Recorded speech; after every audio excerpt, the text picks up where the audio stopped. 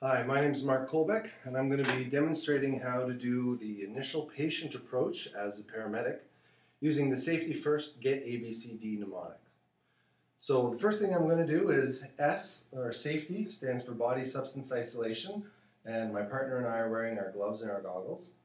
F stands for fire, or scene safety, and I'm taking a look at the scene. The dispatch information is for a 40-year-old female with abdominal pain in bed, and that's how I see it, so I can determine that the scene is safe.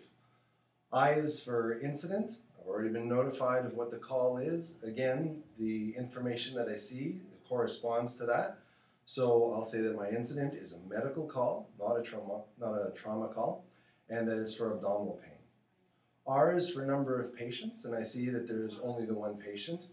S is send for help, and at this point, it seems to be a call that my partner and I can handle without assistance, so I won't be sending for help.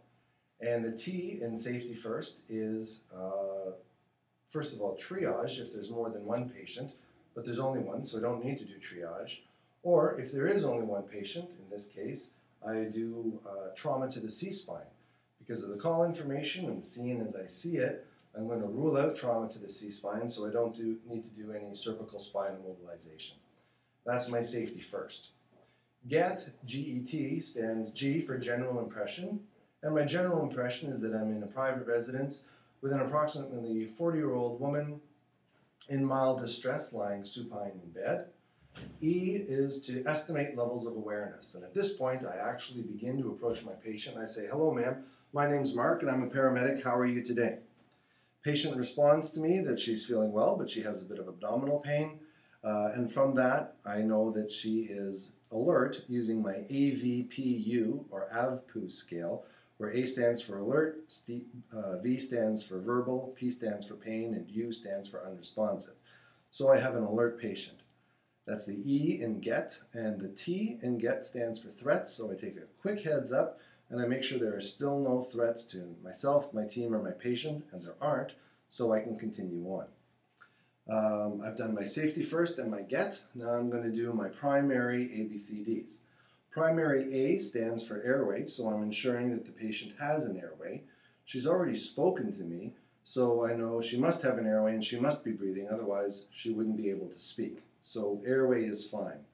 B stands for breathing, and I need to determine whether or not my patient is breathing. And as we've already seen, she's talking to me, so I know that she's breathing. And a quick assessment seems that she's breathing fairly well, so I don't need to take any interventions. As with all patients, when we're doing the scenarios, I'm going to have my partner uh, set up an oxygen mask, 15 liters, non-rebreather, instruct the patient what they're setting up and how, and have the patient breathing into the mask. Later on, I can titrate that down to nasal cannulas or off as long as their SATs are good. But for now, in my initial ABCDs, I'm going to give them a big rush of oxygen. C, primary C, stands for circulation, and there's three parts to the circulation check. The first is I'm going to check to make sure they have a pulse. I can tell because they're talking to me that they already do, but I want a quick idea of the quality of the pulse. So I'm going to do a carotid and radial quick pulse check, see if it's present, and to see if it's of reasonable quality. And it seems to be. So that's the first part of circulation, is pulse check. Second part of circulation is a skin check. So I'll pull back my glove and use the back of my hand and put that on the patient's forehead. And I'll note that the patient's skin is pink, warm, and dry, obviously a good sign, uh, and my skin check is done. Third thing I'm going to do is a gross bleed check. In this situation, there probably is not a gross bleed, so I could simply ask my patient, are you bleeding or injured anywhere? Uh, I can also do a quick anterior bleed check because I can see the anterior portion of the body. If I was concerned about an occult posterior bleed, I could use my hands and by going underneath the small of the back, underneath the scapula and an X from the hips up, taking a quick look at my gloves to see if there's any blood. There isn't, so I can rule out uh, gross bleed. So my primary circulation check of pulse, skin, and gross bleed is complete. And now I move to my primary D, which is decision. And I need to make two decisions, a treatment decision and a transport decision. In terms of treatment, since this is medical, my question is the D of defibrillation. Do they need to be defibrillated? since they're alert and talking to me, they obviously do not need to be defibrillated, so I can rule out any urgent primary treatment at this point. If they were a trauma patient, my uh, treatment decision would be do they have any gross disabilities? That's the D I'd be looking for. And obviously, in this case, it's not trauma, so I don't need to worry about that. Those are my treatment decisions. The transport decision is the next decision that I need to make. And the question at this point is this uh, patient that I can remain to investigate further, or do I have to urgently load and go? The question is load and go or stay and play. In this case, because of the presentation, I can say I can probably have time to stay and play, and I can take a little bit more time to properly assess my patient before I initiate transport. So I've done safety first, uh, I've done GET, I've done primary ABCDs. Now, if I was an ALS provider doing a scenario like this, I would move into the secondary ABCDs. If you're not an ALS provider, you don't need to demonstrate this. Uh, if you're BLS, you're done at the primary ABCDs. But for the sake of uh, demonstration, we'll move on to secondary ABCDs and explain what we do at that point. So for secondary ABCDs, I go back to airway, and I need to make sure that my airway is open, patent, and secure. So if it was not open, patent, and secure, I would consider doing an advanced airway technique like laryngeal mask or endotracheal intubation. In this case, I can rule that out, that's not necessary. If there was any evidence of a foreign body airway obstruction, I could use my laryngoscope and Magill forceps to try and take out the foreign body airway obstruction if necessary. Uh, in this case, it's not necessary. I can rule it out. The third thing I would do with airway is if I'm in a can't intubate, can't ventilate, CICV patient, can't intubate, can't ventilate, then I would start to consider the possibility of doing a surgical airway technique of some point. Again, here, fortunately, I don't need to. Patient has a patent secure airway. So that's my primary, or rather my secondary airway considerations. My secondary breathing considerations are two-part. I want to know about the gases going in and out, and I want to have a quick listen to uh, the patient's chest to make sure they're breathing okay. It's actually three-part. The third thing I want to do is make sure there's no problems with uh, tension pneumothorax. So in terms of gas in and gas out, the first thing I'm going to do is put a SpO2 monitor onto the patient's finger and see what their oxygen saturation is. If it was clinically indicated and if I had the uh, technical equipment for it, I could put on um, end-tidal CO2 for a spontaneously non-intubated patient, which would be like nasal cannulas that hook up to your monitor and hopefully give you a nice waveform of end-tidal CO2.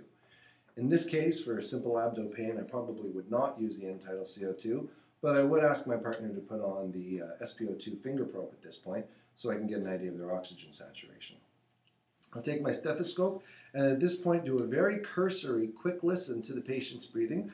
I do a four point auscultation. Uh, just ask the patient breathe in, breathe out, breathe in, breathe out. Listen to the apices and the bases of the lungs. Breathe in, breathe out, breathe in, breathe out. And I note that the patient has good air entry bilaterally that helps me uh, get an idea of their baseline of breathing. It also helps me to rule out the possibility of a tension pneumothorax, and there are other things I could look at. If there was a tension pneumothorax suspected and I had decided to treat for it, I could do uh, chest needle decompression. In this case, again, clearly not indicated. So my secondary breathing is the SpO2 and end-tidal CO2, the gas in and out. Uh, have a listen to the gas going in and out of the chest and rule out the need for tension pneumothorax. Now I can move on to secondary circulation. So there's a few things I would consider. Uh, I would probably put uh, ECG onto this patient, do simple rhythm interpretation. If the abdo pain sounded a bit suspicious and it was leading over into ischemic chest pain territory, or if they have a lot of cardiac risk factors, or if there's any red flags that come up that make me think cardiac, I might elect to do a 12 lead ECG on scene. So ECG is the first part of my circulation. Second part of my circulation is to consider an IV line if, uh, if I thought it was indicated for a possible fluid replacement or medication administration. I would set up a peripheral IV line uh, and have that established probably at this point TKO. And the third thing I would do is if there's any evidence of altered mental status, I'd use the flashback on the IV to do random blood glucose, get an idea of my patient's blood glucose level, and determine whether or not I think I'm going to be having to intervene in terms of administering IV dextrose, or oral dextrose in this case, if they're alert and oriented enough. So that's my secondary uh, circulation, and my secondary D is for decision. So my first decision and my secondary D is how acute do I think this patient is? And I use the rough idea of not sick, sick, very sick, or dead. They're obviously not dead. Uh, they don't seem to be very sick at this point. They're not complaining of any of the critical signs. The three critical signs that we look for are altered mental status, ischemic chest pain, or respiratory distress, roughly correlating to brains, heart, and lungs. Do they have any problems with those organs? If they don't, that's great. I'm going to determine that this patient at this point is sick because they do have a complaint of abdominal pain, but it's not one of the critical complaints of altered mental status, ischemic chest pain, or shortness of breath, so I'm going to classify them as sick. Uh, the next decision I need to make in terms of secondary decision is roughly what medical guideline or protocol do I think I'm going to be falling into, and at this point, I haven't heard anything to make me think that I'm going to be moving away from abdominal pain. I haven't done a proper investigation yet, but at this preliminary point, moving through my secondary ABCDs, I'm thinking I'm still generally on the page of uh, abdominal pain not yet diagnosed. The third D that I need to make a decision about is my transport decision. Has anything happened in the past few minutes that makes me think that I need to change my uh, transport decision from stay and play to a load and go? And is there anything that would indicate a specific hospital that I would probably have to transport to? At this point, I'm still going to say that I, I'm staying with the decision to stay and play and do a further assessment on my patient. And I haven't heard anything yet that would indicate to me that I need to make a specific transport decision to a specialized hospital. So at this point, I've done safety first, get, I've done my primary ABCDs and my secondary ABCDs, and I've completed the uh, patient approach part of my scenario done this initial check sheet, the second part that I'm going to do is move into doing the call completion, which is the ICI had vital signs uh, assessed and treated.